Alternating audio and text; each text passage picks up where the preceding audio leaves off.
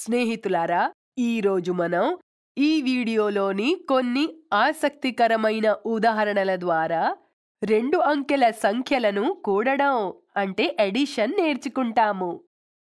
కాబట్టి పింకీ పిన్ని మార్కెట్ నుండి పీలు కోసం ఏమేం తెచ్చిందో చూద్దాం.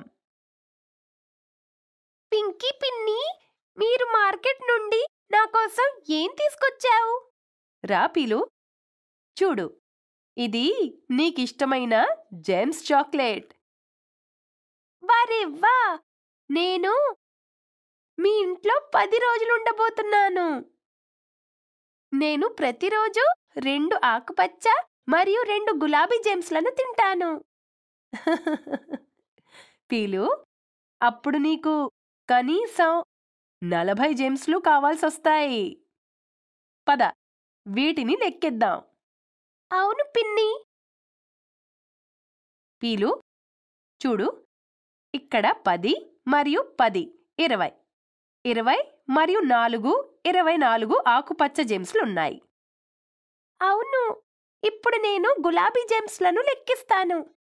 ఇక్కడ ఒకటి రెండు మూడు నాలుగు ఐదు ఆరు ఏడు ఎనిమిది తొమ్మిది పది. పది మరియు పది ఇరవై. ఇరవై మరియు పది ముప్పై.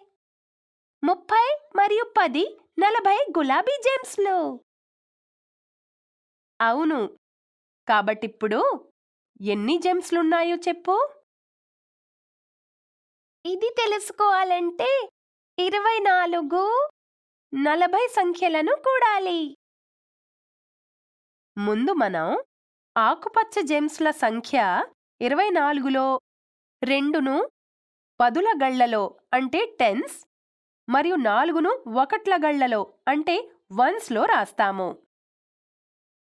ఇప్పుడు గులాబీ జెమ్స్ల సంఖ్య నలభైలో నాలుగుని పదుల గళ్ళలో మరియు సున్నాని ఒకట్ల గళ్ళలో రాస్తాము.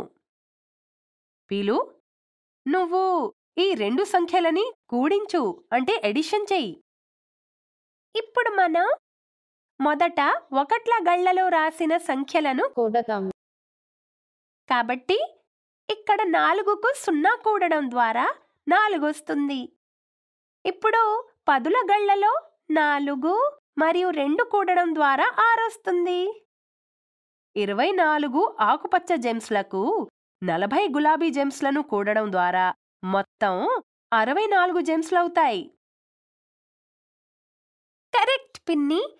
ఇక్కడ మొత్తం నలభై నాలుగు కంటే ఎక్కువ అరవై నాలుగు జెమ్స్లున్నాయి ఇప్పుడు రెండు రెండు కాదు.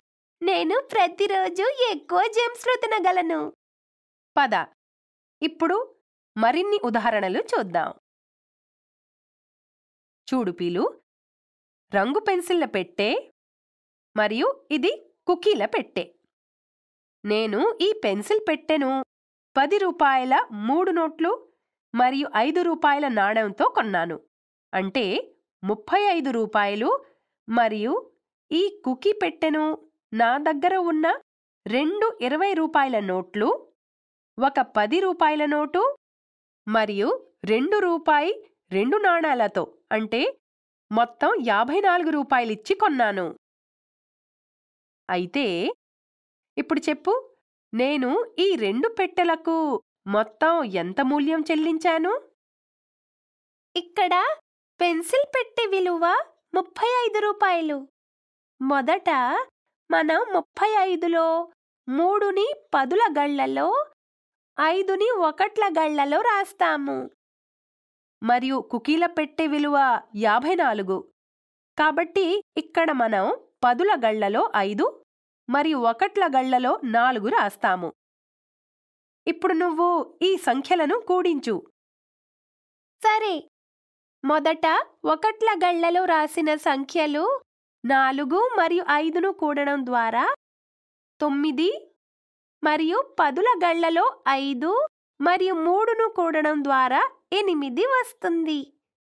కాబట్టి ముప్పై ఐదు రూపాయలు మరియు యాభై నాలుగు రూపాయలు కూడడం ద్వారా రెండు పెట్టెల మొత్తం విలువ ఎనభై తొమ్మిది రూపాయలను చెల్లించుంటారు. శభాష్ పీలు. ఆ ఈరోజు ఈ ఆసక్తికరమైన ఉదాహరణల ద్వారా రెండు అంకెల సంఖ్యలను కూడడం నేర్చుకున్నాము. తరువాతి వీడియోలో రెండు అంకెల సంఖ్యలను కూడడానికి మనం మరికొన్ని ఉదాహరణలు చూస్తాము.